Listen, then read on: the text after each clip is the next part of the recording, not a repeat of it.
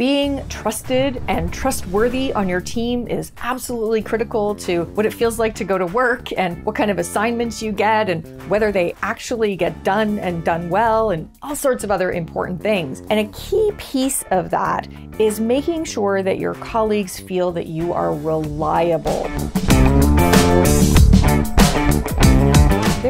Not that many reliable people out there these days. We promise, and then, you know, at the 11th hour, people are saying, um, Hi, you said you were going to have this to me. I haven't seen it yet. Just following up. Oh, those dread follow up emails. Every single one chips away at the sense that you are a dependable, reliable colleague. So protecting and actually investing in people's sense that you are reliable is one of the most important things you can do to be a trustworthy colleague. So, how do you do that? Well, one, the biggest mistake is that we don't invest the time to get aligned on expectations up front. We're in a rush, we're doing it by email, and we leave things unclear. So, if you go off and do what you thought was your responsibility, the other person was expecting something different, what you get is the like, oh, I knew I couldn't count on you. When it wasn't that they couldn't count on you at all. It was that they were counting on you for something different than you thought. So spend the time to say, okay,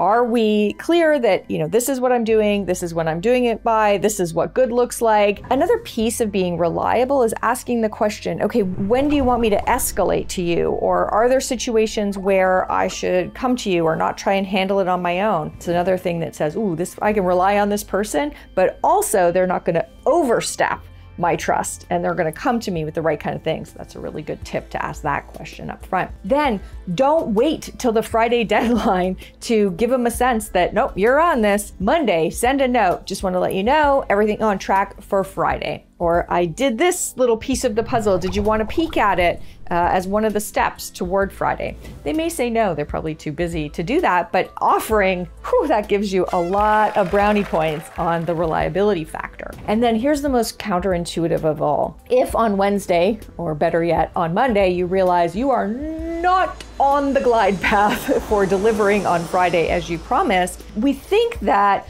the reliable, trustworthy, dependable colleague just kind of does whatever they can and tries to get the Hail Mary midnight on Friday. No, counterintuitively, you're going to be perceived as more reliable if instead on Wednesday, or better yet, Monday, you say, I am not on the path for this. I need your help. Can we have a quick huddle? Do we have alternatives? Can we get some more resources? Can I do this piece, but is there anyone else who could take this other piece? I know it seems like that makes you less dependable, but actually, what it says is that they don't have to worry about being vulnerable because you're going to give them a heads up. They're always going to have options about how to get the Friday outcome, even if things aren't the right path. So the reliable person, the dependable, trustworthy colleague calls it early if there's some reason why they're not going to deliver. So making sure that your colleagues are comfortable to be vulnerable, needing you to deliver something, and knowing you are going to come through for them is a key piece. But even more fundamental than that,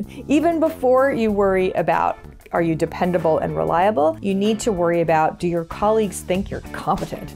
Are they willing to trust that you're capable of what they need you to do? And that's in this next video the tips and tricks for how to be perceived as more capable.